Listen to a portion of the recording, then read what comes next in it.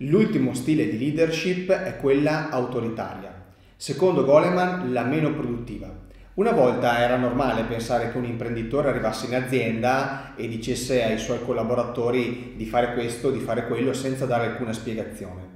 Oggi ormai è una conoscenza consolidata che non si ha lo stile invece più produttivo.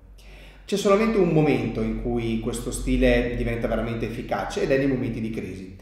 Ci sono situazioni in cui in azienda bisogna decidere le cose velocemente. Quindi avere in questo caso uno stile autoritario diventa importante per risolvere velocemente una situazione che potrebbe diventare dannosa.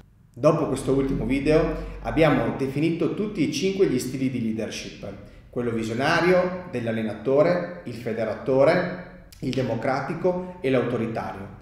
Per essere veramente efficace con il tuo team dovrai imparare a mixare in maniera intelligente questi cinque stili insieme.